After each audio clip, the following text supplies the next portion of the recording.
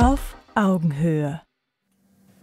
Liebe Community, herzlich willkommen zu einer weiteren Ausgabe auf Augenhöhe. Heute eine Spezialausgabe, Spaziergang Spezial haben wir es genannt. Und was wir genau damit meinen, das äh, werden wir im Laufe dieses Abends erfahren mit meinen heutigen Gästen. Ich grüße ganz herzlich Giovanna Winterfeld. Hallo Giovanna. Hi. Schön, dass du da bist. Schön, du bist dass ich da sein darf. Sängerin und Synchronsprecherin Ganz genau. und kommst aus Berlin. auch das Direkt gerade hergefahren? hergefahren. Fünfeinhalb Stunden oder ich glaube, es waren sogar sechs. wow. Ja. Und alles nur, um hier zu sein. Alles nur, um bei euch zu sein, ganz genau.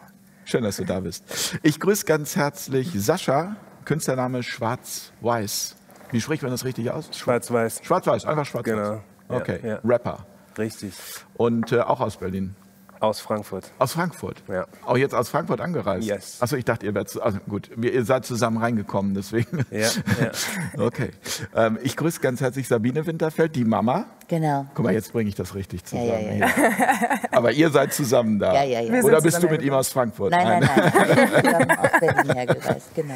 So entstehen Gerüchte. Du bist äh, Schauspielerin und Anti-Gewalt-Trainerin. Genau. Und was das heute mit dem Thema auch vielleicht zu tun hat, das erfahren wir im Laufe des Abends. Vielleicht, Herzlich ja. willkommen hier in Düsseldorf. Und ich grüße zum äh, 34. Mal. Nein, Ungefähr, ja. Zum dritten Mal. Philine Gewünscht. Konrad. 34 vielleicht. Philine Konrad. Wir freuen uns, dass du da bist, Philine. Ich freue mich auch, ja. Sehr. Schauspielerin und Schriftstellerin Genau. aus Köln. Ja, immer noch. Mal sehen, wie lange noch. Wir, woll, wir wollen in dieser Sendung heute darüber sprechen, ähm, wie radikal ist der Widerstand, der Corona-Widerstand? Was, was passiert hier gerade in diesem Land? Also in, ich sag, früher gab es die französische Revolution, in Deutschland gibt es jetzt die Gevolution. Ähm, die Leute gehen raus, gehen spazieren. In Kanada sind die Trucker da. Überall passiert ganz viel und ihr steckt alle mittendrin. Ähm, ihr habt oder beziehungsweise aus der Initiative Alles auf den Tisch hat sich friedlich zusammengebildet. Ganz genau. Und ähm, ihr seid viel auf der Straße. Ja, genau. Das, Warum, Giovanna? Ähm, das hatte den Grund, dass wir alles auf den Tisch ist ja äh, online, ein Online-Format. Und wir hatten irgendwann das Gefühl, dass es irgendwie nicht mehr ausreicht. Das hat zwar ein bisschen Wellen geschlagen, aber es haben irgendwie einfach nicht genug Leute gesehen. Es hat einfach nicht die Resonanz erzeugt, die wir uns auch gewünscht hatten. Und irgendwie haben wir dann gedacht, dann müssen wir so ziemlich das letzte demokratische Mittel noch nutzen, was uns übrig bleibt. Und das ist dann doch auf die Straße zu gehen. Und dann ähm, ja, ist das so entstanden, weil äh, eine der Frauen, wir sind insgesamt sieben Frauen, die das organisieren, meinte, ey Leute, wollen wir da nicht irgendwie was gründen? Wollen wir nicht schauen, dass wir die Leute auf die Straße kriegen? Und dann waren wir alle dabei und ähm, jetzt sind wir viele. Also beim letzten Mal waren wir, wir haben gesagt, wir waren 5000, das ist das, was wir gezählt haben. Die Polizei hat, glaube ich, gesagt, wir waren drei oder drei fünf. Da kann man sich jetzt aussuchen, äh, wie man da mehr Glauben schenkt. Okay, also die Zahlen wurden ja immer mal äh, heiß diskutiert, auch schon in den Anfängen. Ich erinnere mich noch, ähm, August, 1. August 2020 Ja. in Berlin. Da hieß es, wie viel sollen es gewesen sein? 17.000 und andere haben von einer Million gesprochen. Ja. Ähm, Also es war auch eine ganz engagierte Frau jetzt bei unserer letzten Demo dabei, die meinte dann ganz aufgeregt zu mir, wir sind bestimmt heute 20.000. Und da muss ich dann auch sagen, so ganz ruhig, so viele sind es nicht. Aber ich glaube auf jeden Fall mehr, als die Polizei da auszählt. werden es auch mehr, nach deinem Gefühl? Wir waren bei der ersten Demonstration, die stattfinden durfte von Friedlich zusammen, waren wir knapp 450. Danach waren wir, glaube ich, äh, was waren wir, 1 1,7 oder war das die Zahl von der Polizei? Zwei, irgendwie knapp zwei. Also es hat sich, es hat Ja, sich ja. Ja, genau, wir waren zwei bis drei, haben wir gezählt und bei der letzten waren wir jetzt fünf. Und rund 5000. So. Sascha oder Schwarz-Weiß? Was soll ich lieber sagen? Was magst du lieber, Sascha? Wie du magst. Ja, äh, Sascha. Ähm, in Frankfurt, wie ist da im Moment die Situation? Was Ey, Frankfurt, Frankfurt geht momentan richtig nach vorne. Da gibt es ein paar richtig stabile Leute, die richtig Welle machen. Und ähm, heute oder gestern war, glaube ich, ein Sternlauf. Da sind, sind, sind die Frankfurter aus vier verschiedenen Richtungen gekommen und äh, haben sich versammelt. Das ist so ein neues Konzept, wahrscheinlich um die Polizei noch mehr zu verwirren. Ich war letzte Woche dabei, habe ein paar äh, Tracks gespielt. Am Samstag geht es wieder los mit einer relativ großen Demonstration. Also ich glaube, Frankfurt wacht auf jeden Fall gerade auf und ähm, ja, wird seinem Namen als stabile Stadt auch langsam gerecht. Ähm, wie, wie reagiert die Polizei im Moment? Kann man, kann man da irgendwie pauschal sagen oder ist das wirklich Sch- von, von schwierig. Termin also, zu Termin unterschiedlich? Ja, ich habe ich hab das Gefühl, es ist wirklich sehr unterschiedlich. Ähm, ich erinnere mich an letztes Jahr, wo wir wirklich mit ähm, Wasserwerfern abgeräumt wurden am Goetheplatz. Ähm, auf aller rabiatste Tour. Ähm, natürlich völlig unsinnig, weil es ging ja darum, dass wir den Abstand nicht hielten und dann wurden die Menschen zusammengetrieben und wurden dann per Wasserwerfer auseinander zusammengedrückt und letztendlich auseinandergetrieben. Also ich glaube, die Polizei hat in, in Frankfurt sehr, sehr ähm, radikal äh, gestartet. Ich habe das Gefühl, dass, dass es langsam besser wird, dass man den Demonstranten, dass man sie eher gewähren lässt. Und es äh, ist eine gute Tendenz, ja. Schön, dass wir heute so viele unterschiedliche ähm, Großstädte am Tisch haben. Berlin, Köln. Was macht Köln im Moment gerade?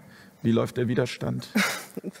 Ja, doch, die, durch die Spaziergänge merkt man, auf den Straßen werden es immer mehr. Also es war jetzt äh, zwei Jahre bei den normal angemeldeten Demonstrationen wenig Leute auf der Straße für eine Millionenstadt. Also fragt man sich, ob es wirklich eine Großstadt noch ist, weil das also sehr zurückhaltend äh, mhm. die gesamte Auseinandersetzung oder gab keine Auseinandersetzung.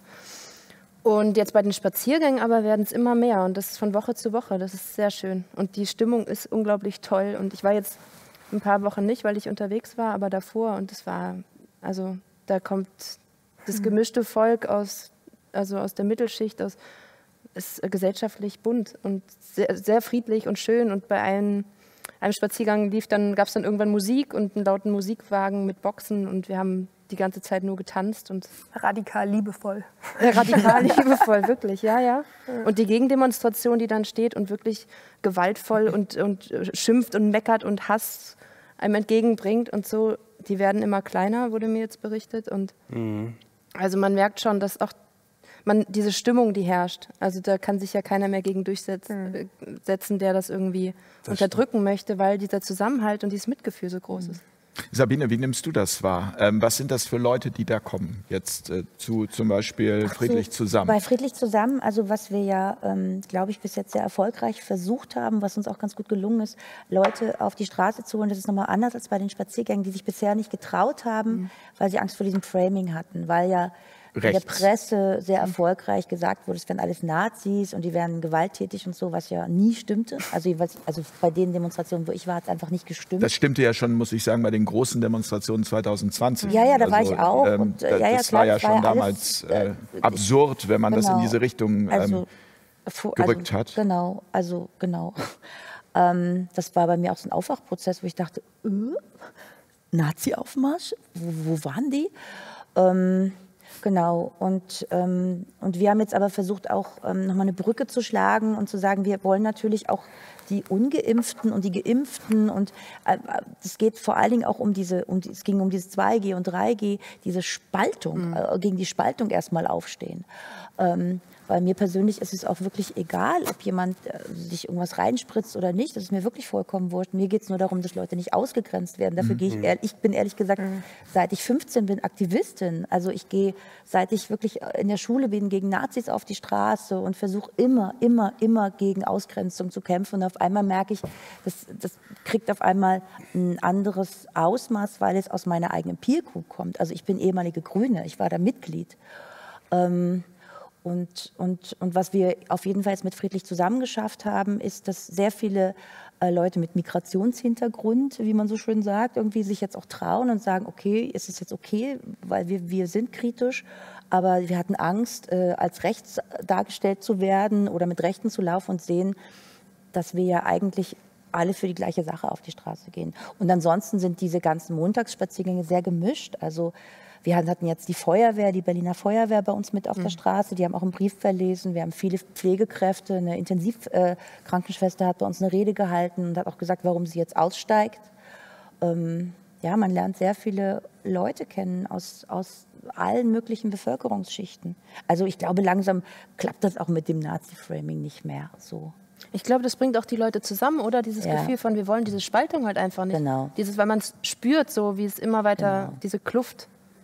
Und ist das nicht lustig? Ich dachte ja immer, weil du das auch gesagt hast mit der eigenen Peer Group, dass das so grundlinkspolitische Werte gewesen Total. wären. Also ich, ich, hinterfrage mittlerweile auch immer, äh, äh, mittlerweile hinterfrage ich einfach, was ich eigentlich für links gehalten habe oder was diese mhm. Begriffe überhaupt bedeuten ja. oder ob das einfach nur Deckel sind, die man auf Gefäße drauf tut mhm. und am mhm. Ende bedeuten sie gar nichts. So, weil also ich dachte immer, das wäre genau in, linkspolitisch. In Frankfurt hat mir jetzt ein Veranstaltungsleiter erzählt, wie er die Antifa dazu gebracht hat, nicht mehr auf die Veranstaltung zu kommen. Und zwar jedes Mal, wenn die Antifa kam und geschrien hat, Nazis raus, hat er dann alle Leute dazu angewiesen, auch Nazis rauszubrüllen. Mhm. Viel lauter als die Antifa und mit, längerer, mit längerem Atem. Und äh, das hat dann dazu geführt, dass die Antifa sich irgendwann einfach nicht mehr blicken ließ, weil ihr ganzes Konzept halt irgendwie zerstört wurde. Wenn halt die große Masse der Demonstranten Nazis rausschreit, ja, wozu ist man dann da? Ne? Eine Frage, die ich an euch alle habe, ähm, warum ähm, zeigt ihr Gesicht? Also viele sind ja immer noch die, wie soll ich jetzt sagen, die mitmachen, die, ähm, die, die, natürlich auch Angst haben, eben genau vor dem, was du gesagt hast, Sabine. Das hat ja auch wirklich weitreichende Konsequenzen. Das war ja von Anfang an so, dass auch immer, es wurde ja immer ein Exempel statuiert. Also wenn du, wenn du auf eine Demo gehst, dann kannst du deinen Job verlieren, dann bist du ausgegrenzt. Ähm, und aber, aber woher nehmt ihr eure Energie zu sagen, ich zeige Gesicht und ähm, hat, das ist jetzt schon die zweite Frage, aber die stelle ich noch gleich hinten dran, hatte das bereits auch für euch schon Konsequenzen? Also ich persönlich weiß nicht, wie ich jetzt zu diesem Zeitpunkt nicht Gesicht zeigen sollte. Also ich weiß wirklich nicht, wie das funktionieren sollte, ohne dass ich komplett gegen meine eigenen Werte gehe und äh, jeden Tag mich durch den Alltag lüge. Also ich habe am Anfang bin ich noch sehr unterm Radar geflogen, auch in meinem Beruf als Synchronsprecherin. Da habe ich dann ein paar Gespräche mitbekommen, wo irgendwie äh, das Atelier davon erzählt hat mit einem suffisanten Grinsen, dass sie jetzt einen Kollegen umbesetzt haben, weil der auf einer der Demonstrationen dabei gewesen ist. Und da habe ich noch nichts gesagt, weil ich einfach nicht umbesetzt werden mhm. wollte. Aber mittlerweile habe ich das Gefühl, dass das geht gar nicht mehr. Also ich müsste mich so sehr selbst belügen, irgendwie ist das jetzt ganz automatisch passiert. Und ich habe auch festgestellt, dass es gar nicht so doll wehtut, wie ich anfänglich angenommen hatte. Also ich habe eher die Erfahrung gemacht, dass ich jetzt, wo ich irgendwie meine Wahrheit spreche, plötzlich Menschen begegne, die einfach sehr mit mir und meinem Wertesystem so äh, resonieren. Und mhm. das ist irgendwie gar nicht so schlimm auf der Seite der Medaille gerade. Und, und, und Konsequenzen, also hast du auch schon gespürt, irgendwie, dass jemand gesagt hat, also mit, mit äh, Giovanna wollen wir nicht mehr zusammenarbeiten? Boah, also jetzt nicht in einem Ausmaß, dass es irgendwie mein ganzes Leben umkrempeln würde. Ähm, aber klar, also es gibt äh, vermutlich Ateliers, die mich zum Beispiel nicht mehr buchen. Das weiß ich jetzt aber auch nicht. Ich weiß nicht, was da intern abgeht oder so, worüber die reden. Im Freundeskreis, nee, gar nicht so doll tatsächlich. Ich habe aber trotzdem das Gefühl, dass ich von mir aus einfach mich auf andere Leute zu, ne? ich orientiere mich einfach woanders hin. So. Ich habe einfach automatisch mit anderen Leuten zu tun mhm. gerade. Es geht eher von mir aus als von denen. Sascha, wie geht dir das? Ähm, ich, ich, bin ja direkt mit meinem Song Fake News Media rausgekommen mhm. im, im, April ähm, 2020. Dem, dementsprechend habe ich gleich. Ähm, du hast von Anfang an auch. Also, ja, wo, ich, hab, ich, bin dann rausgekommen. Ich habe dann immer mein, meine Brille, meinen Bandana getragen, weil ich auch dachte, okay, das ist politisch so kontrovers. Da, ähm, da laufe ich echt Gefahr, mein, mein bürgerliches Leben komplett zu ruinieren oder irgendwie mhm. direkt am Flughafen abgeholt zu werden, wenn ich zurück nach Deutschland fliege. Aber ähm, ich glaube, so, so, so drastische Maßnahmen werden ja zum Glück nicht ergriffen. Ich, ich habe dann irgendwann mal ein Interview gegeben beim HR Radio. Das war so ein Streitgespräch. Hessischer Rundfunk. Ja, mhm. genau. Und infolgedessen hatte ich dann auch massive Probleme mit meinem, mit meinem Arbeitgeber bekommen, der mich quasi versetzt hat, aus meiner bestehenden Position degradiert hatte, weil er der Ansicht war, dass ich mit meiner politischen Position so nicht tragbar sei. Und ähm, ja, von daher, also was, was mir am meisten zugesetzt hat, muss ich sagen, war einfach so dieser Angriff aus dem nächsten Freundesumfeld. Mhm. Es gab viele alte Freunde aus meiner Heimatstadt, die mich massiv geschitstormt haben in den sozialen Medien, die gesagt haben, okay, du bist jetzt hier der Posterboy der neuen Rechten und du bist hier und du läufst, machst dich hier gemein mit Nazis und na na na na. na. Genau, das kam dann gehört, ne? später ne? noch. Äh, Onkel Tom, ja, also der Schwarze, der sozusagen seine eigenen, seine, seine eigenen verrät.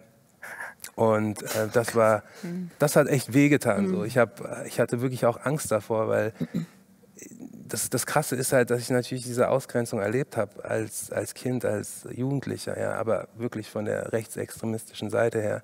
Und jetzt gefühlt 20 Jahre später ja. erlebe ich sie halt aus umgekehrter Richtung. Ich habe ich hab halt, ich habe den Leuten halt auch gesagt, hey, vertraut ihr mir da? Ihr kennt mich doch. Ich bin mhm. doch, ich müsste das doch, ich musste doch dazu in der Lage sein, das zu beurteilen, ob diese Menschen irgendwie äh, fremdenfeindlich sind oder ob die irgendwie einen an der Waffel haben und dann, nee, nee, das in der Tagesschau und, also so haben sie es nicht gesagt, aber ihre Quellen sind halt wirklich die Mainstream-Medien. Und dann habe ich gesagt, hey, kommt doch mal auf die Demo, guckt euch das mal an.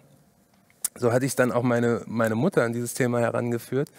Ähm, ich hatte sie einmal zu einer Demo eingeladen und sie war total baff, weil sie, sie hatte einfach diesen, diese schöne Atmosphäre, dieses friedliche zusammen, die Seifenblasen, die Kids, ja, und hat halt auch wie, wie du, ne, so in den Nachrichten vorher immer nur dieses krasse Framing gesehen. Ähm, aber ja, ich habe viel, hab viel äh, Druck bekommen aus verschiedenen Ecken, habe auch reale Konsequenzen ähm, aufgrund meiner Meinungsäußerung erlitten. Ähm, aber zu dem Punkt von Giovanna, ich glaube, das führt dann auch dazu, dass man, dass die Veränderungen ins Leben kommen und dass man sich mit anderen Menschen connectet, die halt irgendwo, ja, mit denen man halt besser äh, harmoniert. Ja. Werbung.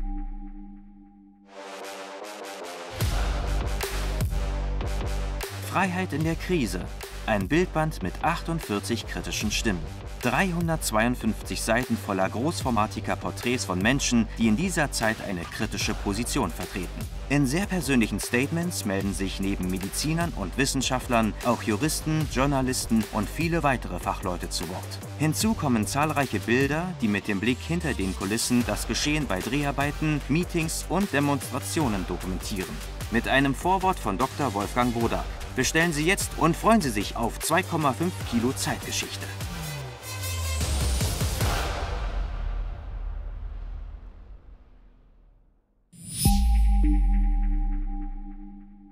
Feline, hast du viele Menschen verloren und dafür mehr gewonnen oder wie ist bei dir bisher die Bilanz?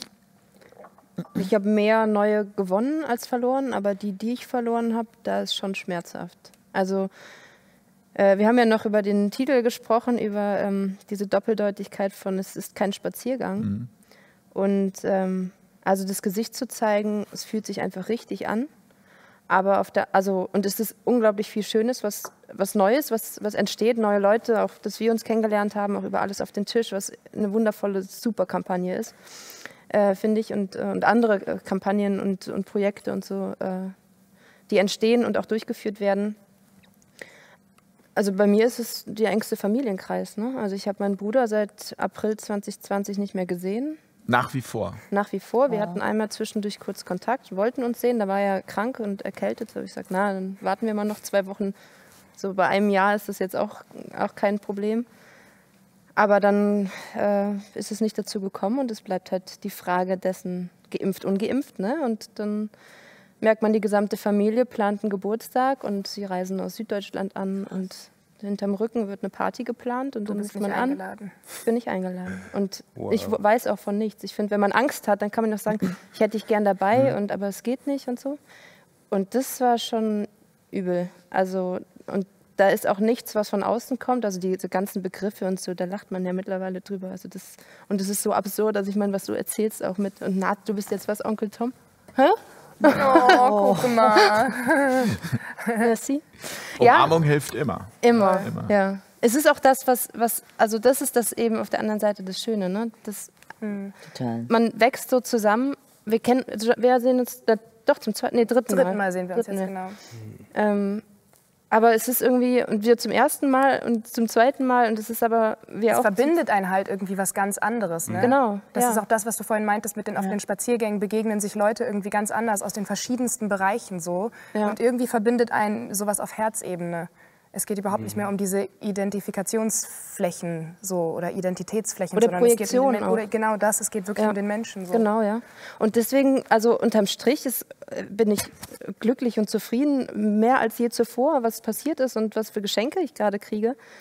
Ähm Aber es ist schmerzhaft zu erleben, wenn Menschen dann ihr wahres Gesicht zeigen. Es ist diese Enttäuschung, das Ende einer Täuschung, aber die Täuschung tut weh, wenn es in der eigenen Familie ist, im eigenen Freundeskreis. Ja. ja.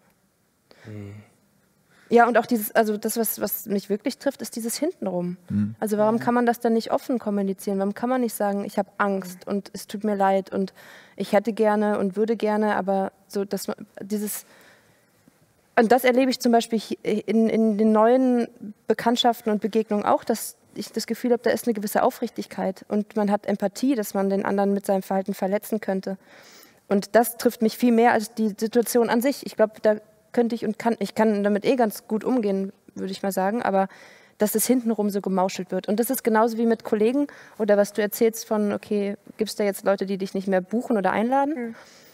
äh, dass da keine Antworten kommen. Ne? Also, dass man eine Mail schickt mit, schau mal, ich habe eine Künstlerinitiative Ja, gegründet, weil wir leiden gerade und ich meine, es kann ja so nicht weitergehen irgendwie, wir müssen doch schauen und und das einfach dieses Ignorieren und Totschweigen. Dann sollen sie mir lieber schreiben, Frau Konrad oder Philine, du bist echt irgendwie deppert oder was weiß ich was.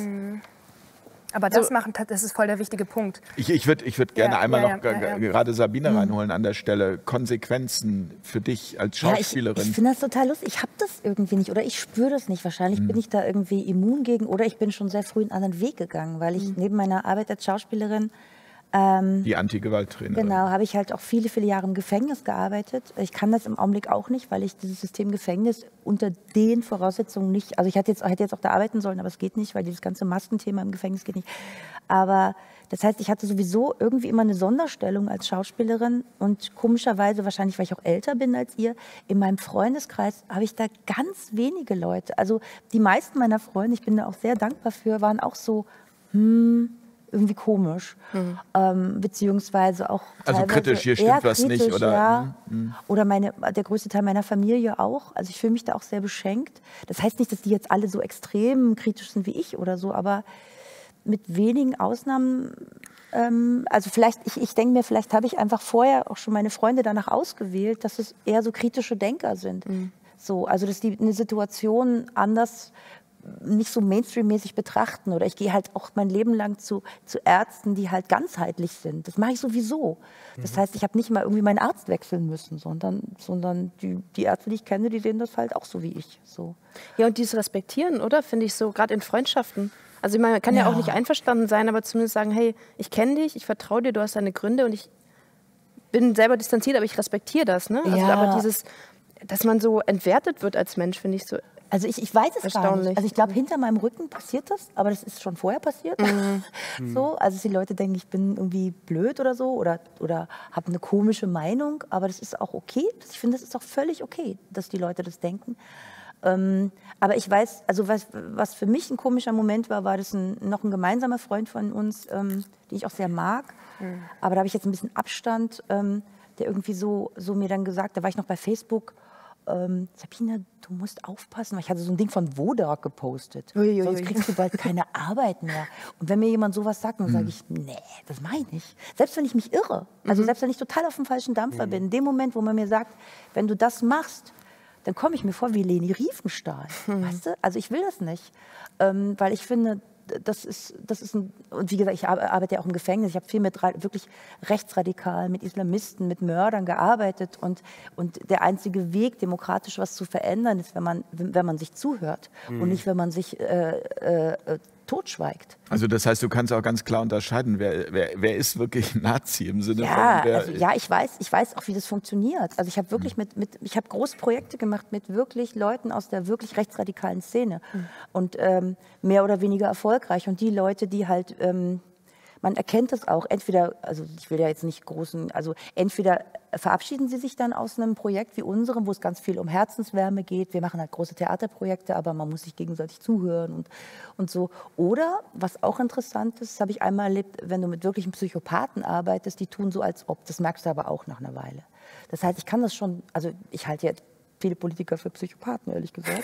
Ich kann das schon unterscheiden, ob, ob, ob jemand verbunden ist oder nicht, würde ich mal behaupten. Ja. Also ich glaube, da gibt es sogar Untersuchungen äh, drüber. Also nicht nur da, sondern auch in, in Chefetagen und Ja, überhaupt ja. auch in großen Konzernen. Und ähm, die, die Prozentquote ist da relativ hoch. Ich, Das ist jahrelang, dass ich das Buch dazu gelesen habe, aber es gibt auf jeden Fall Untersuchungen darüber. Und das ist etwas, was, was vielleicht auch diese Spaltung ausmacht. Also das, was Giovanna eben gerade sagte, dass dieses, du hast auch gesagt, irgendwie Herzensmenschen ähm, und ähm, das ist auch meine Wahrnehmung, dass sich gerade jetzt hier oder beziehungsweise auf der Straße oder wo auch immer, wo gerade Neues entsteht, wirklich Menschen treffen, die auch aus diesem, diesem Bewerten raus wollen, aus diesem Schubladendenken, aus diesem System, was wir, was wir alle gerade als so furchtbar übergriffig erleben und von dem, glaube ich, die meisten, mit denen ich gesprochen habe, auch das Gefühl haben, dieses System ist einfach auch nicht ähm, erneut aufsetzbar. Es muss sich verändern und es muss sich verändern über, über Eigenverantwortung, über Selbstbestimmung, über,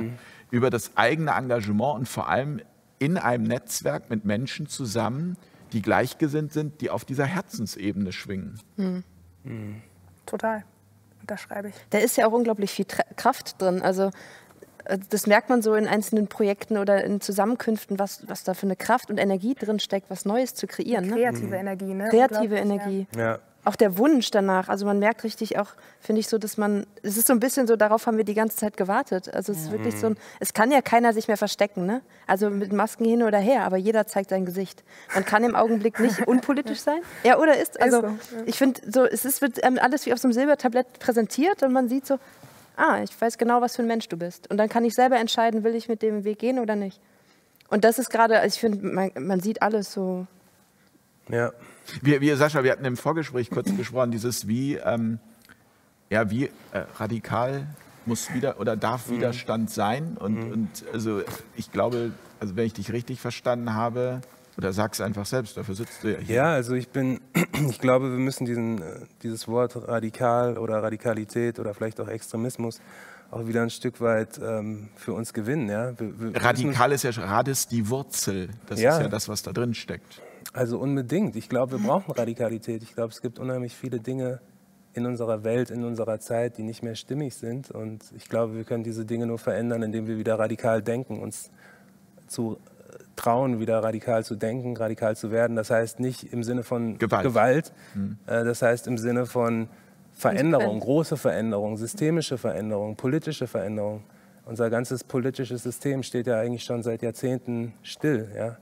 Unser, unser Verhältnis zum Staat, unser, unser Verhältnis ja, von, zwischen Bürger und Staat ist eigentlich eins, was sehr, sehr statisch geblieben ist. Und ich glaube, dass sich wirklich auch ähm, sowas wie Machtmonopole gebildet haben, die halt auch dazu führen, dass solche Krisen entstanden sind. Also wir sind ja in einer unheimlichen Passivität gewesen die letzten zwei Jahre, aber auch die Zeit davor. Wir geben alle vier Jahre mal einen Zettel, werfen alle vier Jahre mal einen Zettel in die Urne. Und ich habe mich unheimlich ohnmächtig gefühlt in dieser Zeit, wo ich dachte, okay, wow, da, da, da passiert gerade so viel und ich habe überhaupt keine Kontrolle mehr darüber. Ja? Und das entspricht nicht meiner Vorstellung von, von einem mündigen Bürger. Als mündiger Bürger will ich, will ich in diese Prozesse involviert sein. Ich will nicht, dass 700 Leute in einem Parlament darüber entscheiden, äh, ja, wie meine, ob meine Kinder zur, zur Schule gehen ja, und in, oder vielleicht sogar Unter welchen Leute Bedingungen und äh, ähm, in Ministerpräsidentenkonferenzen ähm, oder, oder große Medienhäuser, die bestimmte, bestimmte Dinge propagieren, dazu führen, dass die, die ganze Welt plötzlich ähm, Kopf steht. Also man merkt da auch einfach, dass da, dass da ich glaube, wir haben einfach lange geschlafen und ich glaube, das ist auch diese, diese Aufbruchsstimmung, die die Leute jetzt spüren, die eine ganz schöne Energie so ist, dass man das Gefühl hat, man ist irgendwie Teil von etwas Wichtigem, ja? wo die Leute dann sagen, okay, ihr seid alles Schwurbler und ihr, ihr glaubt jetzt, ihr könntet hier irgendwas reißen. Aber ich, ich glaube das, ja, dass wir sind vielleicht, wir sind vielleicht der Beginn von, wir sind vielleicht ein kleiner Beginn, aber alles beginnt mal klein, so. Und ich glaube halt, dass, dass diese Welt braucht diese Veränderung. Es gibt so viele Dinge, die, die Ungleichheit wird immer größer. Wir haben so viele moralische Verwerfungen, die wir draußen in der Welt sehen, ähm, die wir aber einfach passiv hinnehmen. Ja? Und wir sind daran gewöhnt und wir sind taub geworden, diese, diese ganzen äh, Verwerfungen, ähm, ja, diese Taubheit führt dazu, dass wir sie akzeptieren. Und ich glaube, wir können sie nicht länger akzeptieren. Und das fängt bei Themen wie äh, Ungleichheit an, Bildungschancen, ähm, Armut, Nord-Süd-Gefälle, ähm, ja, unser politisches System. ja, aber auch Meinungsfreiheit. Auch, ne? auch Polizeigewalt, ich, ja, Meinungsfreiheit, ähm, ja, auch, auch wie, wir, wie wir unsere Medien steuern. Ähm, es kann nicht sein, dass, dass, dass Medienhäuser wirklich in den Händen von wenigen Leuten äh, liegen, die so eine Macht haben auf diesem Planeten. Und das, ähm, ja, also ich glaube, da gibt es unheimlich viel zu tun und das ist halt diese Energie, die ich wirklich vom Anfang, von Anfang an gespürt habe, dass da gerade etwas wächst und ich weiß nicht, wohin das jetzt führt, aber ich glaube, viele der Leute, die in dieser Bewegung sind, freuen sich eben Teil dessen zu sein. Und es ist auch so, also es ist so einfach, sage ich jetzt mal, sich wirklich zu informieren, was Tatsache ist, weil ja über die ganzen Kanäle, die es gibt, auf denen ja auch viel Mist läuft, haben wir auch schon festgestellt. Also da ist ja auch viel dabei, wo man sagt irgendwie, okay, da sind wirklich Spinner am Start. Aber das vieles von dem ist ja einfach also ich, ich habe diese Bilder aus Dresden unter anderem gesehen, wo wegen einem Spaziergang hunderte Polizeiwagen und tausende, Poli also wegen eines Spaziergangs. Also spätestens da muss ja jemand mit einem klaren Menschenverstand sagen, Moment mal, hier stimmt doch irgendwas nicht. Also es ist ein Spaziergang und man hatte schon auch im Vorwege ja immer wieder auch sehr renommierte Aerosolforscher zum Beispiel äh, befragt, die ja gesagt haben, es ist faktisch keine Gefahr, sich draußen anzustecken. Das, das, sind ja, das sind ja die wissenschaftlichen, also das heißt, das, was daraus gemacht wird, kann man ja mit zwei, drei Recherchen, jeder einzelne, ganz einfach entlarven. Ja, aber dafür braucht man doch auch keinen Wissenschaftler. Also ich finde auch so ein bisschen, dass wir zurückkehren zur Selbstverantwortung und man auf seine eigene Intuition hört. Also man ist doch irgendwie selbst, äh, kann man doch irgendwie einschätzen, das ist doch wie mit, wie mit der Sturmwarnung, die jetzt kam. Also ich bin von Köln gekommen und wusste jetzt halt, na, gestern und heute auch nicht, fahren die Züge oder, und man geht raus und dann hat man ein Gefühl, was für ein Sturm herrscht denn da gerade. Mhm. Glaube ich, den Medien, die warnen und die Schulen schließen, da denkt man ja, oh Gott, jetzt gleich hier wird, mhm. wird mir das Haus über dem Kopf weggefegt. Und dann geht man raus und dann gibt es so ein paar Böen, die dann einen Baum oder einen Ast ab, von einem Baum abreißen, die auf dem Gleis landen und so. Man denkt, aber das ist doch das, was ich, was ich körperlich wahrnehme. Und dafür braucht es keinen Wissenschaftler. Also mhm. zurück mhm. zur eigenen Wahrnehmung und Intuition. Würde ich sagen, ja. Mhm. Und das fehl, ich glaube, das fehlt auch einfach an, an mhm. also gerade da, wo Unsicherheit herrscht. Ne? Was ich halt auch merke, ist, dass wir unbedingt andere Formen der Organisierung brauchen. Also die Bürger brauchen andere Formen, Möglichkeiten, sich auch zu organisieren. Ich habe so das Gefühl, auch in dieser Bewegung, wir sind ja unheimlich viele. Ja? Es gibt wahrscheinlich mhm. Millionen von Menschen, die dagegen sind, was gerade passiert. Aber uns fehlen irgendwie Mittel auch, diesen, diesen, diesen Protest zu kanalisieren. Ja? Und ich habe manchmal so das Gefühl, wir gehen auf die Straße und ich liebe diese Energie, aber es ist halt auch so ein bisschen so ein mittelalterliches, äh, so eine mittel, mittelalterliche Form des Protests. Ja? Wir, stehen halt, wir stehen halt globalen äh, sozusagen Konzernen und Regierungsstrukturen, die organisiert sind mit Polizisten in Kampfmontur und Kontrolle der öffentlich-rechtlichen Medien. Also ich habe so das Gefühl, die Menschen haben ja eigentlich eine totale macht. Ja? Wir sind ja äh, sozusagen die Basis unserer Bevölkerung, ist ja, ist ja sozusagen der Mo Motorraum unserer Wirtschaft so, aber diese Menschen haben ganz wenig zu sagen. Ja? Und es sind sie, halt sie denken, sie haben, genau. sie haben ja, jeder genau. hat ja eine Stimme, aber er muss sie eben auch nutzen. Genau. Und da ist halt die Frage, wie, wie, wie geht das heutzutage? Und ich glaube, das ist eine der Kernfragen, wie kann man eben auch seine Stimme nutzen, weil die Politik bietet uns da ja nichts an. Ja, die bietet uns eben diese Wahlen an und wirft mal irgendwelche Meinungsumfragen raus, von denen man nicht wirklich weiß, ob, woher die jetzt kommen. So. Und ähm, da, da glaube ich halt, brauchen die, die, die Menschen auch wirklich Möglichkeiten, ihr, ihren, ihren Willen irgendwo auch zu artikulieren. Ja. Aber, aber ich meine, also, letztendlich, also so, so verstehe ich das zumindest, kann ja jeder nur also das tun, was er tun kann. Du hast zum Beispiel mit Giovanna zusammen einen Song gemacht, der heißt mhm. Spaziergang. Ähm, und das emotionalisiert Leute. Ja, und, und äh, bringt Leute dazu, die vielleicht bisher gesagt haben, nee, ich bleibe äh, zu Hause und gucke Netflix, äh, rauszugehen und was Eigenes auf die mhm. Beine zu stellen. Ja, und, und dadurch entsteht ja überhaupt eine Graswurzelbewegung. Ja. Also, also von daher, ich weiß gar nicht, ob dieses Kanalisieren am Ende nicht wieder dazu führt, dass man auch ganz viel Energie verliert. Mhm. Sehe ich genauso. Also ich merke das jetzt auch, was in den letzten Wochen passiert ist, also mit unserer Kleinen, das ist ja eher so ein bisschen aus so einem Trotz auch entstanden, mhm. weil, weil wir irgendwie das Gefühl hatten, wir wollen auf die Straße gehen, dann war irgendwie alles verboten, dann wurden wir eingekesselt, wir waren da mit Kindern und so und dann haben wir halt was Eigenes gemacht und und unsere letzte Kundgebung, die war auf einmal so groß und sah auch groß aus. Das hat aber, glaube ich, nur 300 Euro gekostet oder so. Mhm. Weil irgendwie Leute kamen und gesagt haben, ich hm. bringe euch das, ich mache das. Mhm. Und das ist, ich weiß nicht, was daraus passiert, aber mich berührt es gerade total, dass wir eben das System da auch so ein bisschen umgehen, weil die Leute einfach, jeder gibt so ihrs. Wir wissen nicht, was passiert, aber ich finde, es kann sogar sein, dass wir in einem Jahr zurückgucken und sagen, das war sehr geil, was mhm. gerade passiert ist, weil es eben so frei ist, was gerade Auf jeden Fall. Ja. Und ich glaube, wir sind auch gar nicht so klein, weil, also ich schaue gerade diese Livestreams aus Kanada und ich feiere, das ist so schön, was die da auf die Beine, also die haben einfach, einfach die gesamte Stra Stadt da besetzt mit ihren Trucks, ja. bei minus 30 Grad sind mhm. die da, spielen Eishockey auf der Straße, feiern Partys, da kommen ständig Leute mit unterstützen. Haben wohlbemerkt alle Kanada fahren, das dürfte in Deutschland ja nicht, wäre ja nicht gestattet. Aber und dann schwappt es über nach Israel, dann in Jerusalem sind dann ja. Bilder, in Frankreich geht es ja. Australien. Und auch da werden wieder so krass Mauern eingerissen, weil wenn man sich die Bilder anguckt, das werden es umarmen sich da ja Leute, es liegen ja. sich Leute in den Armen, die mhm. sich sonst wahrscheinlich nie begegnet wären, mhm. weil deren Welten einfach so weit voneinander entfernt mhm. sind, die vielleicht sogar sich mit einem Misstrauen begegnet wären oder so. Und das hat so ein Potenzial. Ich, ich finde da, find das total schön, was da passiert. Ich, ähm, aber ich muss halt auch kritisch anmerken, dass, sage ich mal, diese Maßnahmen oder diese Aktionen, die die Menschen da machen, jetzt, glaube ich, nicht besonders effizient sind in Bezug auf das Ziel, was die Menschen erreichen wollen, nämlich Freiheit. Und ähm, ich glaube, also da findet ja sozusagen konstant eine Verhandlung statt zwischen dem Bürger und den, und den Regierenden. Und ich sage mal, ich würde mal sagen, 1 zu 0 für die Regierung, so die ersten zwei Jahre, wäre so mein Fazit. Also es wurden irgendwie viele geimpft, die die Impfung nicht wollten. Es wurde viel verboten. Es wurden viele Gesetze des, äh, unseres Grundgesetzes massiv gebrochen. Und von daher bin ich total bei euch, wenn ihr sagt, okay, das ist, das ist schön, was da passiert, das ist dieses Woodstock-Feeling und ich bin all in und ich liebe es, auf Demonstrationen zu gehen und, und, und die Songs zu bringen. Oder Krass, jetzt das sehe ich aber anders tatsächlich. Weil ich, also es kommt ein bisschen darauf an, äh, von welcher Freiheit du redest. Ob du jetzt die kurzfristige Freiheit meinst in Bezug auf die Ziele und Forderungen, die man jetzt so hat, wenn man auf diese Demonstration geht, oder ob du von etwas redest, was jetzt aus dem entsteht, was was viel längerfristiges ist. Weil ich habe das Gefühl, so einige sagen ja irgendwie nach einem Freedom Day oder so, dann ist es endlich wieder normal. Aber ich habe das Gefühl, diese Normalität, die wird gar nicht mehr eintreffen. Es ist zu viel passiert, es wurden zu viele Grenzen eingerissen, es werden zu viele Begriffe einfach hinterfragt, so wie ich jetzt zum Beispiel sage, mit dem ich komme aus einem sehr links-grün Lager und ich denke da gerade sehr um Liebäugel mit ganz anderen Werten für mich persönlich und ich glaube, dass das sehr viel in den Menschen begegnen, äh, bewegen Ja, wird. ja. So. Also ich habe zum Beispiel früher überall Nazis gesehen, muss ich ganz ehrlich sagen. Ne? Ich, war, ich war da voll dabei bei dem Framing. Sobald jemand mit irgendwas kam, äh, was irgendwie in die Richtung geht, ich war ich immer noch sofort... überall Nazis.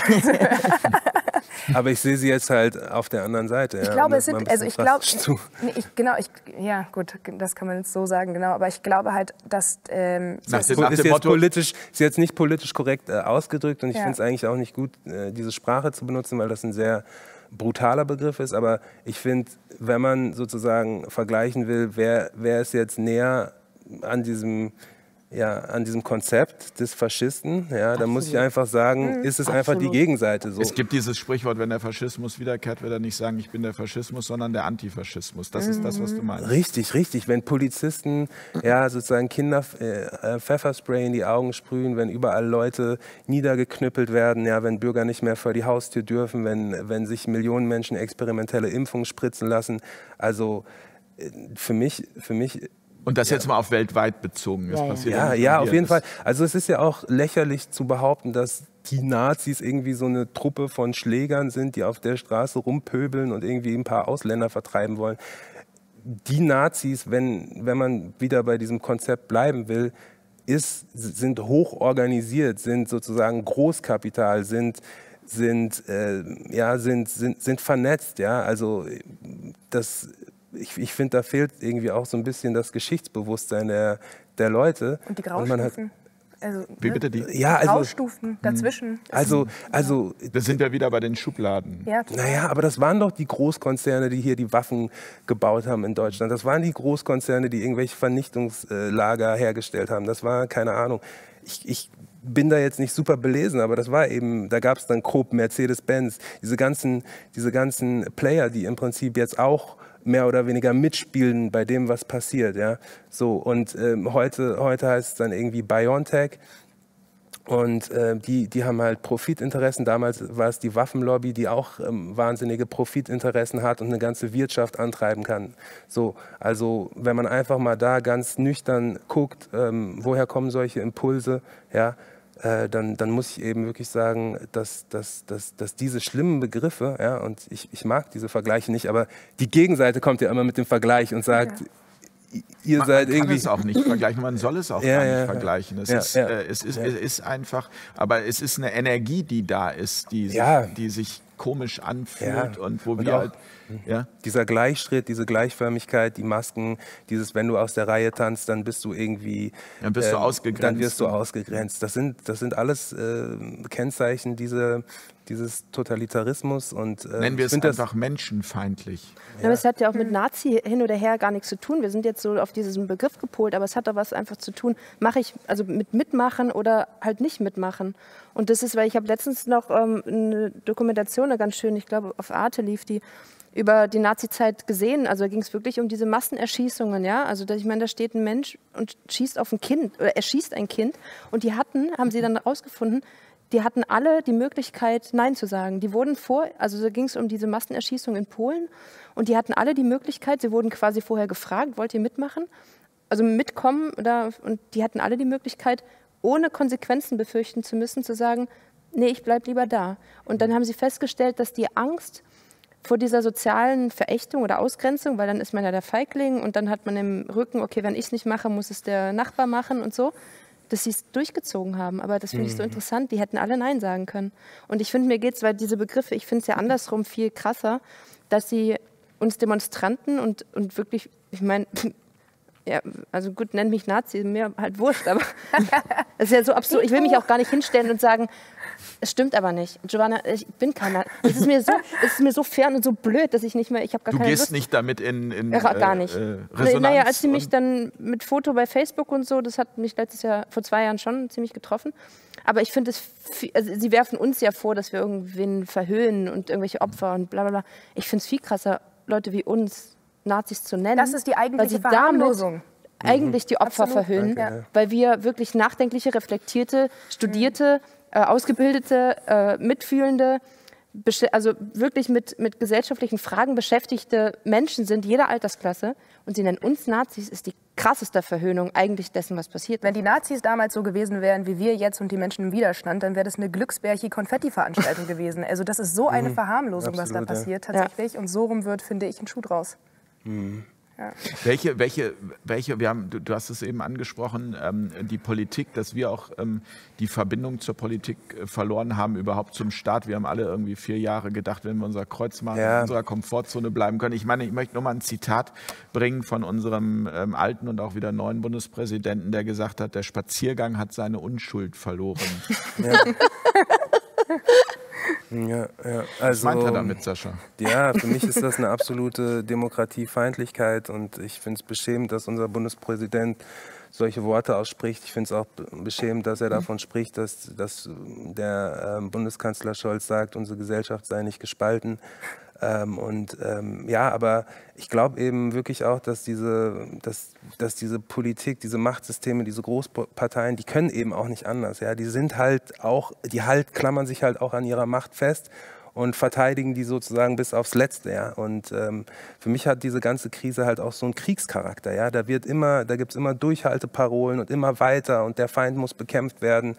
Und ähm, so, ja, wenn man den Krieg irgendwie gewinnen will, dann muss man halt auch so vorgehen. Und dann muss man halt auch die Aufsätzigen ähm, niederschimpfen bis zum Letzten. Und ähm, ich glaube, das machen die. Ja? Und ähm, für mich ist einfach die große Frage, ähm, können wir das irgendwie geschicht, geschichtlich aufarbeiten? Können wir, gibt es, äh, werden wir da Konsequenzen sehen? Weil ähm, die, die Werte unserer Demokratie, die sehe ich als verraten an. Ja? Und ähm, ich spreche auch immer davon, ich finde ich find interessant, dass dem so wenig Beachtung geschenkt wird, aber unser Grundgesetz ist ja ein Gesetz. Ja? Diese, diese Gesetze wurden massiv gebrochen, teilweise die wichtigsten äh, Gesetze. Und natürlich gibt es da irgendwelche Ausnahmeparagraphen, aber man muss sich das mal überlegen. Es gibt keine Gerichtbarkeit für die wichtigsten Gesetze unseres äh, unseres Landes. Ja? Also wenn ich hier jetzt irgendwie, was weiß ich, im, im Restaurant äh, meine Pizza nicht bezahle, ja, dann steht im schlimmsten Fall die Polizei am nächsten Tag vor der Tür, so ungefähr. Aber, aber unsere Politiker können da schalten und walten, wie sie wollen, ja, und können massiv Gesetze brechen. Und halt auch das ganze Thema Gewaltenteilung. Ich meine, das ist ja ein Witz, was die Gerichte hier ähm, gemacht haben in den letzten zwei Jahren. Von daher, ähm, ich, für mich ist das wirklich so ein ganzer Komplex aus Medien, aus Politik, ähm, aus, aus Konzernverflechtung, aus Lobbyismus. Äh, So ein richtiger Moloch, der aber auch halt entstanden ist, weil wir ganz, die ganze Zeit ein wirtschaftliches Wachstum hatten seit Jahrzehnten. Und dann kann sich sowas auch bilden, weil alles so läuft. Dann, können, dann, können die, äh, dann, kommen wir halt auch in diese Passivität rein. Ja. Aber, aber wenn, also wir sind uns alle darüber einig, Gewalt ist nicht die Lösung, kann nicht die Lösung sein, wird nie die Lösung sein. Du als Anti-Gewalt-Trainerin, ähm, wa- was, hast du eine Idee, was passieren Ja. muss? Nicht auf mich hört nur gerade. Wir, wir hören zu. Ja. Hier schon jetzt. Ja, ja, ja. Ähm, also, wie gesagt, ich habe das ja viele, viele Jahre gemacht und ich, es wird auch wieder irgendwie einen Moment geben, ich weiß noch nicht in welcher Form. Ich habe ähm, in, in, diesen, in diesen Runden mit diesen Gewaltstraftätern, das ist auch so ein Wort, aber wie auch immer, ich hab, ähm, haben wir immer am Anfang und am Ende eine Runde gehabt, die ist Talking Stick. So. Und ähm, Das heißt, dass dieses Prinzip, ähm, einer bekommt so einen Genau. Staffelstab und dann darf er reden und gibt ihn dann. Prinzip, genau. Und ich hatte eigentlich in diesen ganzen, also im, ähm, in diesen Projekten, die wir gemacht haben, immer nur so ein paar Regeln. Erstmal, ich wollte nicht Teil des Systems sein. Mhm. Also du bekommst immer dieses, okay, erzähl was über die Gefangenen. Ähm, dann kriegt ihr auch mehr Geld und so. Ich sage, nee, möchte ich nicht. Und ich möchte, dass die freiwillig kommen. Das heißt, die, die Straftäter, die, ich will auch nicht, dass die Geld bekommen. Dann sollen sie lieber wegbleiben. Und dann äh, dieses Talking Stick heißt, die Regel war, jeder redet, solange wie er reden möchte, nur über sich. Er darf die anderen nicht abwerten und die anderen müssen wirklich zuhalten, die müssen zuhören, die müssen aus, das aushalten. Mhm. Einfach mal hören. Mhm. Und das haben wir am Anfang und am Ende gemacht. Und dann äh, war das andere noch, wir haben halt mit den Leuten gearbeitet. Das macht mhm. ziemlich toll, wenn man sich wirklich mhm. irgendwie, wenn man den Leuten Aufmerksamkeit gibt. Es gibt ja ganz, da sind halt auch Menschen. Ähm, genau wie drin trifft man eigentlich draußen, äh, man trifft überall die gleichen Menschen. Ähm, und dieses Prinzip von, du gibst dem an und darfst den anderen nicht abwerten, wir geben dir wirklich die Möglichkeit, dich auszudrücken und du musst dem anderen zuhören, das mhm. heilt. Ich glaube, es geht um Heilung und sich gegenseitig zuhören. Mhm. Und ich glaube, das ist das, was fehlt. Deshalb kann ich jetzt persönlich auch keine Talkshows ertragen. Deshalb mag ich euer Format sehr. Ich gucke das auch oft, weil man sich halt gegenseitig zuhört und auch aushält, dass der andere anders ist. Es ist doch wunderbar, dass Leute andere Meinungen haben. Mhm. Das brauchen wir zum Gestalten, weil diese Gleichmacherei, wo, die, die, die ist die ist furchtbar langweilig. Deshalb glaube ich auch ehrlich gesagt keine Sekunde. Ich gehöre zu den wenigen, die total optimistisch sind. Ich finde es super, was mhm. gerade passiert. Weil es war ja schon vorher ging das schon nicht. Also unsere Kunst war eingesperrt, mhm. die Kinder waren schon vorher eingesperrt, die Masken, die kommen jetzt nur oben drauf, finde ich, mhm. das, was die den Kindern mit diesen mhm. Masken antun. Ja, und ja. es wird auch mal klar, was auch weltweit mit den ja, Kindern passiert furchtbar. ist. Auch das wird ja, flappt ja überall. Und ja. was die Kirche teilweise gemacht hat. Also alles, es sind so viele Bereiche, also diese die gerade, gerade einfach an die Oberfläche äh, kommen. Genau, das ist alles, das sind alles, ist alles irgendwie, äh, weiß ich nicht, irgendwie sind die alle so eingesperrt und ich würde mal sagen korrupt. Ähm, und es kommt halt alles so raus gerade, das, was mich die ganze Zeit gestört hat. Und ich glaube, in dem, also wenn ich, wenn ich, wenn ich diese Kurse mache, geht es für mich immer um innere Freiheit. Ich glaube, mhm. die Heilung und auch äh, das Mittel gegen Gewalt ist innere Freiheit, dass man sich selber kennenlernt. Und, ähm, und dass unser System, was ja meiner Meinung nach kaputt ist, sich gerade zeigt, finde ich angemessen. Mhm. Ja. Ich möchte auch mal einen, einen Begriff ja. reinwerfen, ähm, weil der hier im Vorgespräch immer wieder viel Widerstandsparanoia. Mhm. Da hat er gesagt, da könnt ihr stundenlang drüber sprechen. Stundenlang wollen wir das jetzt nicht tun, ähm, aber Sascha. Ja, also das fing halt schon an hier mit der Sonnenbrille und dem Bandana, sage ich mal. Ähm, das ist einfach, wenn man, wenn man sich so massiv in den Widerstand begibt und sei es jetzt musikalisch oder einfach nur in dem, was man halt nach außen kommuniziert, dann, dann, dann macht man sich ja auch ein, ein, Stück weit zum, zum Staatsfeind. Also kein, kein klassischer Staatsfeind, dass der Staat jetzt sagt, okay, du bist, du bist böse, aber man, man spürt einfach, dass man ständig mit dem kollidiert, was gerade offiziell ähm, gilt. Ja? Und das führt dann einfach dazu, dass man halt auch überall ähm, oder man ist ja dann auch auf Demonstrationen, wird festgenommen und wird kontrolliert und ähm, wird zensiert. Ja? Also es gibt ja auch diese reale dieses reale Element, dass man wirklich spürt, dass die Konsequenz, die Konsequenz mhm. genau mit dem Arbeitgeber etc. Und das führt dann halt auch ein Stück weit dazu, dass man ja, dass man halt überall auch das so ein Stück weit sieht. Bei mir hat das jetzt zum Glück nicht das Ausmaß, dass ich nicht mehr normal leben kann, aber das ist, das ist anstrengend. Also es ist anstrengend, sich, sich im Widerstand zu befinden. Und meine Songs sind ja auch extrem kontrovers, von Verbrechern regiert, äh, rechtsextrem, Fake News Media. Das sind alles Songs, die, ähm, ja, die könnte man jetzt nicht im Radio spielen, ohne dass der, der Radiosender wahrscheinlich am nächsten Tag irgendwie seine Lizenz verliert. Ähm, und äh, von daher ist das schon auch, ähm, stellt sich da so eine gewisse Paranoia ein. Aber Wir hatten da auch mal kurz drüber gesprochen, dass man auch so ein bisschen paranoid wird im Widerstand, weil man natürlich gezwungen ist, sich von so vielen Glaubenssätzen, von so viel, was man gelernt ja. hat, zu verabschieden. Und man schwimmt so ein bisschen plötzlich im Nichts, das Vertrauen ins System genau. oder so. Alles, ja, alles, woran man geglaubt hat, Der wird plötzlich auf den Kopf gestellt, auch, komplett. Ja. Mhm. Und da wird man einfach ein bisschen paranoid. Man, mhm. man, man, verliert so, ja, man verliert das Vertrauen einfach in alles, was man kannte. Und man muss sich einfach komplett neu orientieren und neu sortieren. Wenn man weiß, dass die Tagesschau, also sozusagen das seriöste Medium in, in, in Deutschland, ähm, aus einer Demonstration am 1.8., die total friedlich war, die total demokratisch war, die total weltoffen und progressiv war. 2020, einen, da spricht 2020 einen Nazi-Aufmarsch macht, ähm, Sturm auf, auf den Bundes, Bundestag ja, und ein Angriff auf unsere Demokratie dann, dann, dann wird einem erstmal bewusst, was für eine Macht diese Medien ja. besitzen und was sie auch für Bilder in den Köpfen der Leute erschaffen können. Das war für mich echt so, wow, ja. warte mal. Das heißt im Prinzip, jetzt muss ich eigentlich alles neu bewerten, was ich jemals ja. äh, von diesen Leuten serviert bekommen habe. Und das führt natürlich mhm. dazu, dass man ja, in diese, in diese, ein bisschen in diese Widerstandsparanoia ähm, ähm, kommt und das ist dann, wie gesagt, auch echt anstrengend, weil man kann ja diese Medien nicht mehr wie vorher. Also ich, ich habe mit meiner Mutter jahrelang, die hat um 20 Uhr Tagesschau angeschaltet und ähm, die ganzen Kriege, die man erlebt hat, die großen Krisen, ja, die muss man ja im Prinzip jetzt aus einem neuen Licht bewerten, weil man sieht hautnah, wie in einer realen Krise, die man eben so ein bisschen entblößt hat für sich, ähm, da auch manipuliert wird. Philine, um nochmal auf den Aspekt mhm. ähm, zurückzukommen, weil Widerstand ist ja nicht nur der Spaziergang, sondern auch äh, die Kunst. Alles auf den Tisch ist ein äh, Projekt äh, gewesen. Du bist da auch extrem aktiv und, und bringst Künstler äh, zusammen, machst Veranstaltungen. Ähm, wie nimmst du das im Moment wahr? Also ähm, kommt aus der Richtung jetzt in Zukunft mehr oder bleibt das so verhalten? Ähm, wie ist da der Zuspruch? Meinst du alles auf den Tisch oder? Ja, nicht nur alles auf den Tisch grundsätzlich. Also, also, also hast du das Gefühl, weil es war ja so eine Zeit, wo ähm, da wurde dann ja auch immer wieder ein Exempel statuiert. Mhm. Ne? Und also dann wird das auch alles in die äh, Ecke gestellt und Aluhüte rechts, was auch immer. Darüber haben wir jetzt heute schon so viel geredet. Aber mich würde mal interessieren, also siehst du da irgendwie ein Licht am Ende des Horizonts, dass da in der Kunst mehr passiert? ich sehe einen Sonnenaufgang. Mhm. Also ich, äh, ich ja, das mein, ist schön zu hören. ja, also, aber das, das, wollen wir dann ja auch hören. Na, ich habe es ja gerade erlebt. Also ich habe ja mit meiner Kollegin Martha Murwey, wir haben ja die Künstlerinitiative mhm. gegründet vor einem Jahr knapp, knapp. Im Mai haben wir Jubiläum.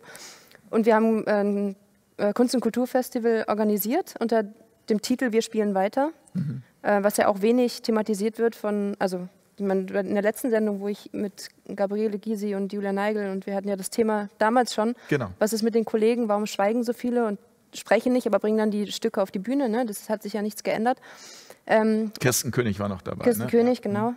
Ähm, und das, das heißt, du hast ja, und bringt es auf die Bühne, also ihr seid dann ins Tun gekommen, ins genau. Handeln gekommen. Genau, und wir haben halt gesagt, wir spielen weiter. Wir lassen uns die Kunst nicht verbieten und auch nicht, ähm, also unsere Werte verbieten. Ähm, und wir stellen jetzt was auf die Beine. Mhm. Und ähm, das haben wir gemacht Ende Januar. War ein sehr schönes Festival, musste aber nach der Hälfte abgebrochen werden, wegen den Verleumdungen, die man kennt. Also es ist wir haben jetzt gerade gestern für Radio München ein Interview gegeben zu dem Thema und da kommt dann auch noch auch mehr und so. Äh, wir sind, wir haben sie mit alles auf den Tisch, haben sie mit Querdenker-Folklore betitelt. Mhm. es, ist so, es ist so absurd, weil ich meine, Spricht man da über Journalismus oder was? Leute, geht doch mal auf die Seite der Kampagne und ihr seht, dass Oskar Lafontaine dabei ist, dass Sarah Wagenknecht dabei ist, dass Christina Schröder, ehemalige Familienministerin, dabei ist, mhm. eben, dass Gabriele Gysi auch dabei ist, mhm. dass verschiedene, ihr sowieso, aber jetzt mal die, die wirklich Abgeordneten, die, oh, oh, ich will gar nicht sagen höheren, weil irgendwie ist diese Hierarchie auch nicht mehr da von meiner Betrachtung aus, aber ähm, dass die mitgemacht haben. Und, und dann gab es mit Verhöhnung der Opfer des Nationalsozialismus, weil sich ein Kollektiv bezogen, also in ihrem Manifest einfach nur die Worte entartete Kunst mhm. formuliert hat, also zitiert hat. Und das, das, ist so absurd und das Festival wurde abgebrochen. Und ähm, gut, das alles auf den Tischvideo ist nach wie vor gelöscht mit Professor Hadic. Also das ist auch, da merkt Aber nur bei YouTube, also nicht, nicht auf unserer Seite. Nee, nee, ja, da wo, wo, die, wo jemand, der zensieren kann, zensiert. Das ja, ist halt im Ja gut, aber ich wollte gerade sagen, auch da tun sich ja Alternativen gerade auf. Auch da, es ist am, am Ende ist es ja immer wieder dieses ins eigene Handeln kommen, ja. was aufzubauen. Und vielleicht ist es dann auch erstmal für einen Moment eine gewisse Parallelgesellschaft. Und oder? die Angst verlieren, finde ich. Ja. Also mhm. dieses Angstgeleitete einfach mal wegzuhauen. Weil ich finde, wir sind auch, ich meine, unser Leben ist so kurz und ich finde es auch so eine mhm. Zeitverschwendung, das irgendwie auch nur einen Tag in Angst zu verbringen, weil irgendjemand sagt, du darfst das nicht sagen. Das hat der Lauterbach doch gesagt. Er hat gesagt, äh, während einer Pandemie ist keine Zeit für Lebensfreude oder so. Ja, ich meine, oh, wow. der ist einfach verrückt. Darf man das sagen? Ja, klar.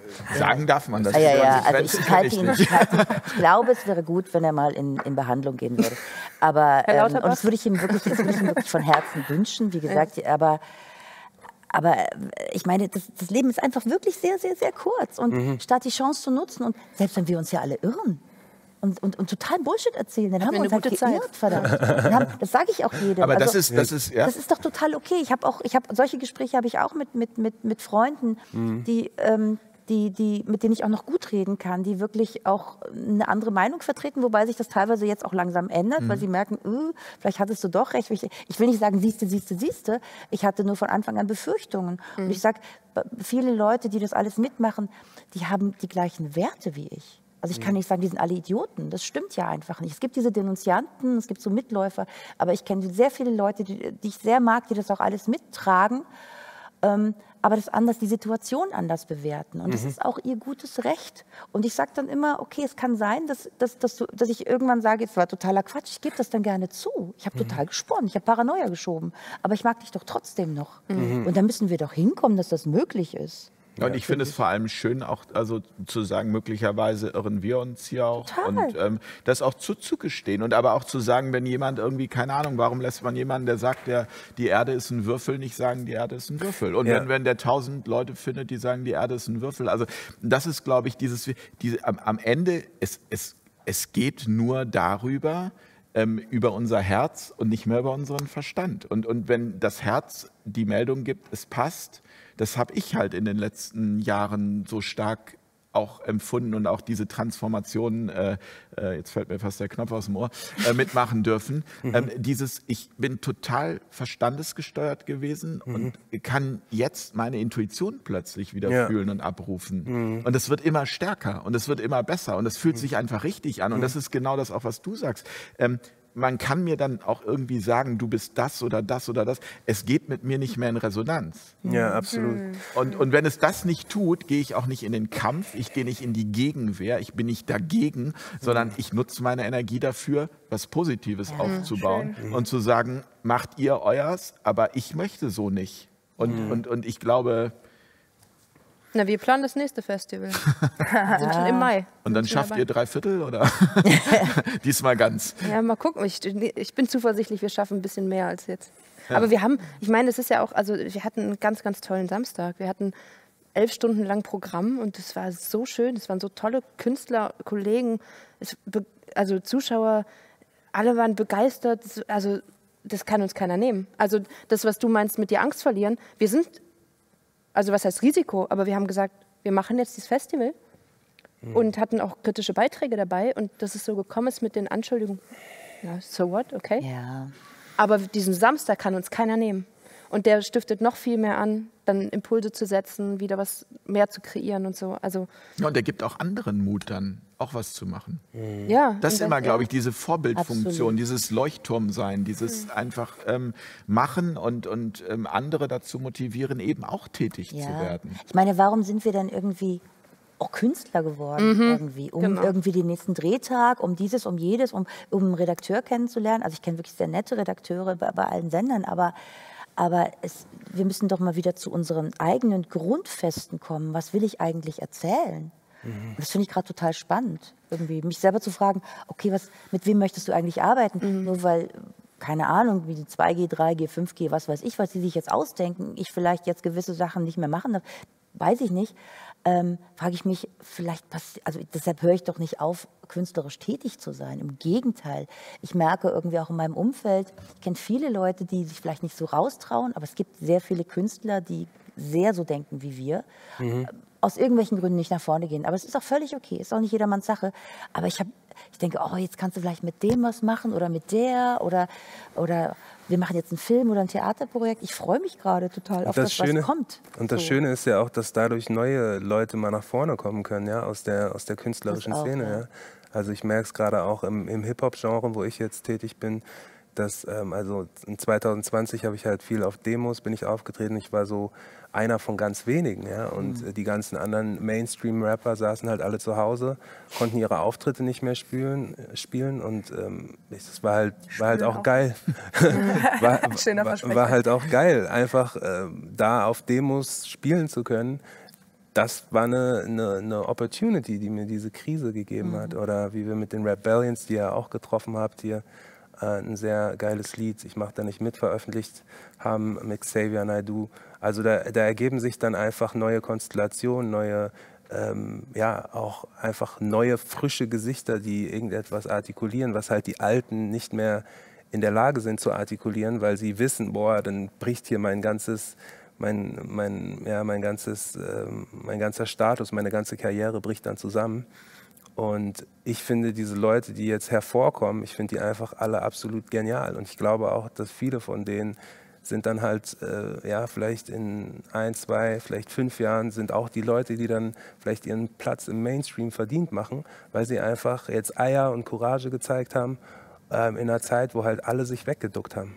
Aber das ist auch das, was, was man interessant findet an Künstlern, oder? Also weil diese, das war letztes Ist ja auch Mal ein bisschen das daran reiben und auch mal der Skandal und das gehört ja auch dazu. Also, das, also einfach auch wirklich der Künstler, der auch mal, also es ist ja verrückt, wenn man mal so will, dass es eben heute als Künstler ein Skandal ist, auf einen Spaziergang zu gehen. Wer hätte das gedacht, dass das ausreicht? Also, Ja, ist auch nicht jetzt- unschuldig, ne? Wie bitte? Der, der Spaziergang ist auch nicht Ja. unschuldig. Also, na, aber also die, das hatten wir in der letzten Sendung, Ja. äh, da wo es ja auch um Kunst- oder Kulturwirtschaft ging. Ähm, welche Rolle spielt denn der Künstler? Ne? Die Frage, also was ist denn, warum bin ich denn Künstler? Ja. Warum habe ich mich für diesen Weg entschieden?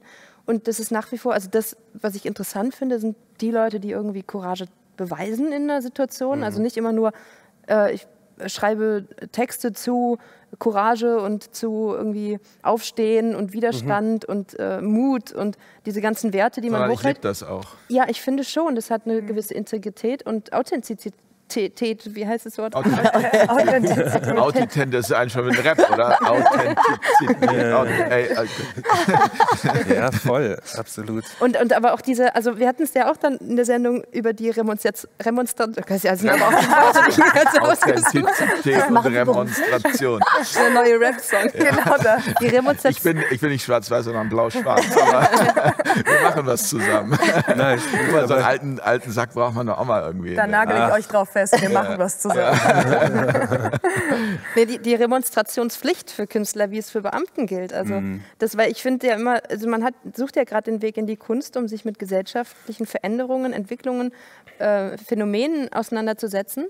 Daher kommen ja auch die ganzen Texte, Stücke, Werke zu, zu den Werten, die wir so hochhalten seit Jahrzehnten. Ne? Ausgrenzung haben darf man nicht, aber immer bei Gewissen ist das jetzt in Ordnung. Und so, dass es da irgendwie, finde ich, also es ist so ein, ich habe für jeden Verständnis für seine Situation. Ja? Also ich, ich hau das außer Herrn Drosten nicht entgegen. Dem habe ich mal geschrieben, dass ist und das hat ganz gut getan.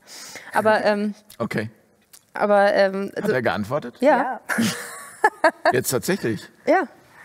Also ich habe ihm geschrieben, es gab dann, er hatte mir im Mai. Okay, wir wiederholen das jetzt nicht nochmal, weil wir sonst wegpiepen müssen, aber ja. Okay, darf, darf ich die Geschichte erzählen? Ja, natürlich. Ja, er hatte mir im Mai 2020 schon eine E-Mail geschrieben, Mhm. also geantwortet auf eine von mir. Und er schrieb dann, äh, liebe Frau Konrad, bitte glauben Sie mir, Ihre Informationsquellen sind falsch und schauen Sie bitte in die USA und nach Russland und demnächst auch nach Afrika. Herzliche Grüße, was weiß ich. Und dann äh, kam jetzt, also ne, er warf mir quasi vor, ich bin nicht richtig informiert. Und dann gab es äh, jetzt im Cicero, äh, in dem Magazin, einen Artikel, ähm, dass er wohl bestätigt jetzt, dass in Wuhan im Labor, dass es jetzt irgendwie da nicht ganz so ungefährliche Geschichten gelaufen sind. Und ich war so wütend, weil er mir geschrieben hat, Frau Konrad, also ne, so in dem Fall hat es mich nicht wirklich getriggert, aber jetzt dadurch, dass es quasi bestätigt ist, dass die Informationen ja doch nicht ganz so falsch sind, da, ich war, ich saß an meinem Tisch, ich dachte, du bist einfach ein also und das habe ich Ist natürlich auch nicht freundlich, muss ich sagen. Nee, das war auch nicht meine Absicht, freundlich zu sein. Also Da sind wir beim Skandal. Da sind wir auch mal wütend, ne? Ja, und es ist auch gesund, das mal raus. Also, ich meine, weiß ich nicht, ist nett nicht. Und dann gab es auch so eine Stimme im Kopf, die so, oh Mensch, Feline, ist- ich meine, ist ja auch ein armer Kerl, so, das ist ja auch gemein jetzt irgendwie eben so einfach, ich kenne ihn ja gar nicht. Aber, und er, er antwortet, darum ging es ja. Er antwortet dann und schrieb, äh, liebe Frau Konrad, ähm, oder hallo Frau Konrad, ich weiß gar nicht mehr. Ich glaube, liebe, liebe Frau Konrad, ähm, äh, auch wenn Sie so unflätige Ausdrucksweise wählen, irgendwas, so bezeugt sich da anscheinend auf den Begriff ähm, oder die Bezeichnung. Ähm, ja, er, ich sei einer Verleugnungskampagne aufgesessen, wieder erneut und, äh, und er könne ja quasi auch nichts dafür, dass ich immer noch diese falschen Aber, aber, aber ich muss sagen, also nochmal, das Format hier heißt Fair Talk. Und wir sind damals angetreten und haben gesagt, also wir machen das hier, weil wir auch mit ihm sprechen würden. Ja. Also wir haben ihn mehrfach eingeladen, er ist bisher nicht gekommen. Aber Ja. ich, also weil, weil mir, nein, aber nein, mir geht es einfach darum, tatsächlich mit Menschen zu sprechen und sie zu verstehen. Und das ist ja genau der Punkt von Sabine. Ne? Die Leute müssen unbedingt an einen Tisch kommen und es wird Genau. aber mit allen Mitteln äh, vermieden. Ja? Ja. Ich, ich, ich freue mich auch immer. Jetzt gab es einen Shitstorm von der Antifa wegen meinen neuen Songs und ich, ich will dann immer mm, kommentieren und mit denen reden und irgendwie in Dialog kommen. Aber die Leute wollen das überhaupt nicht. Ja? Also es ist es- diese, genau. diese Gräben, die sind so, die sind so tief. Und ähm, das, das ist halt dann auch, äh, ja, laut Herrn Scholz ähm, gibt es keine Spaltung. Ja, das ist halt Das eine Gefühl habe ich aber auch. Spaltung. Das Keine auch so ein Spaltung bisschen- und keine rote Linie Ja. mehr. Es geht so ein bisschen um Comfort Zones. Ne? Ich habe auch das Gefühl, niemand hat ein Interesse daran, diese Bubbles wirklich aufzulösen. Mhm. Das ist ja auch, finde ich, so ein bisschen dieses Thema mit der Kontaktschuld, die ja, Ja. auch momentan so ganz groß ist. Dieses, okay, wenn du zum Beispiel auf einer Bühne sprichst, bevor dir jemand gesprochen hat, der äh, als rechtsradikal betitelt wird oder so, Mhm. warum ist das jetzt ein Problem? Warum, ist das nicht eher, warum hat das nicht eher ein großes Potenzial, dass man die gleiche Plattform nutzt und, und die Menschen anspricht, die dem vorher zugehört haben? Ja. Ist das nicht was, was total entwaffnend sein kann, wieder ins Richtig. Gespräch zu kommen, einander positiv zu beeinflussen und so weiter und so fort? Wenn die ganzen Nazis jetzt mit einer Giovanna Winterfeld und einem Schwarz-Weiß auf der Bühne mitgrooven bei meinen Songs, ja, was sind das denn dann noch für Nazis? Ja? Wenn die, also die Leute sehen halt auch nicht das verbindende Element. Man hat dann viel von dieser Querfront gesprochen, hat gesagt, oh, da braut sich was zusammen, das ist brandgefährlich. Ja, und ich, ich, fand das, ich fand das von Anfang an geil. Ich habe gesagt, da laufen verschiedenste Menschen zusammen, vereint ähm, für eine Sache. Und das ist doch was Positives. Also, Und das Entwaffnendste, was es gibt, ne? Menschen in die Augen zu gucken. Also oft ist es ja, ne, was der Bauer nicht kennt, frisst er nicht so. Die Angst Ja. vom Unbekannten, die überhaupt dafür sorgt, dass man so krasse Feindbilder hat oder so Ja. krass projiziert. Und das kann man ja auflösen, indem man sich einfach begegnet. Auf Herz. Und Aber Ja. gibt so, halt, so ein bisschen so zu akzeptieren, was du eben gesagt hast, mit wenn jemand nicht sprechen will, dann kannst du halt auch nichts machen, außer den Menschen da in aller Freundlichkeit und Liebe da sein zu lassen, wo er ist. Ne?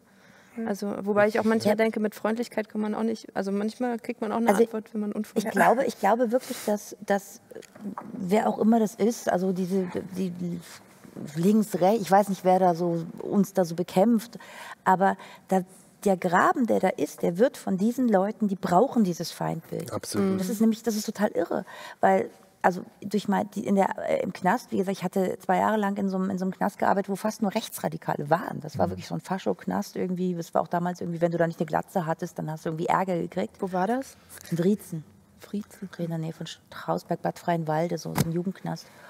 Und es war auch, ist jetzt auch schon äh, an, um die 2000er, da war das auch nochmal eine andere Art von Jugendkultur im Osten irgendwie.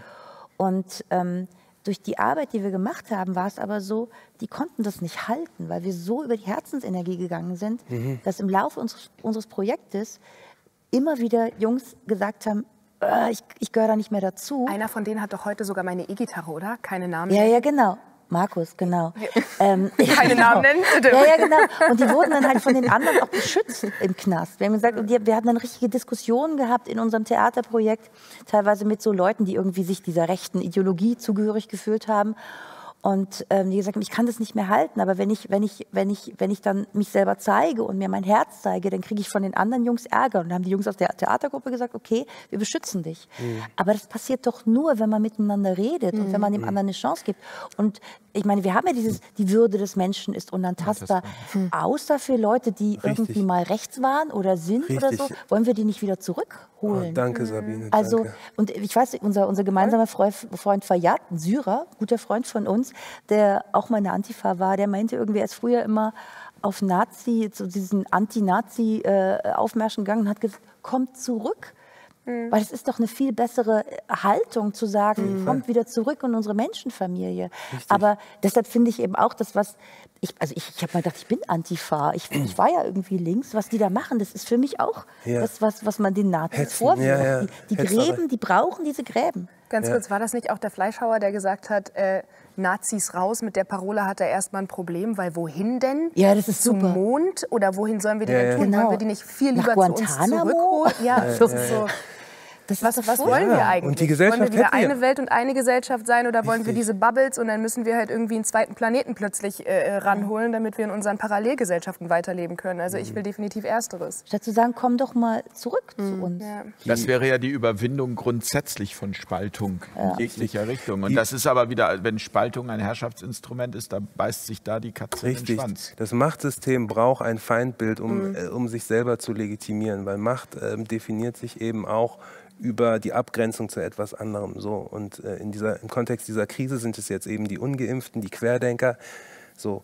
Äh, ohne die kann man halt auch nicht dieses ganze Ding hier am Laufen halten. Man braucht das. Oder im größeren Kontext ist, sind es dann die Rechtsextremen. Man könnte diese Menschen so locker in diese Gesellschaft holen, ja, mit all den Mitteln, die wir haben, all den kompetenten, schlauen Soziologen, Psychologen, Politologen, könnte man so viel machen, um die Gesellschaft wieder heiler zu machen, ja, auch. Aber diese Lager, die werden unbedingt forciert und ähm, das, das liegt halt auch an unserem politischen System. Wir gucken uns nie an, was ist eigentlich der Konsens. Wir gucken uns immer erst an, was sind, wo liegen die Differenzen und wir geilen uns in den Medien an diesen Differenzen auf, noch und nöcher. Dabei haben wir eigentlich so, ein, so, eine, so einen krassen Konsens als Menschen an den Dingen, die wir wirklich wollen, ja? Ja, ja. die wir alle wollen. Wir wollen alle Wertschätzung, wir wollen alle Sicherheit, wir wollen alle Liebe. ähm, Liebe, ja, wir wollen alle Wohlstand. So, da gibt so viele Dinge, die wir, die wir gemeinsam wollen, aber man konzentriert sich eben immer auf diese spaltenden Elemente, weil man da dann auch eben ähm, so schön äh, ja, dieses, dieses, dieses, dieses Machtsystem äh, irgendwie ja, erhalten kann oder befeuern kann. Nichtsdestotrotz, um das auch nochmal klarzustellen, äh, um mal zurückzukommen zu den Spaziergängen.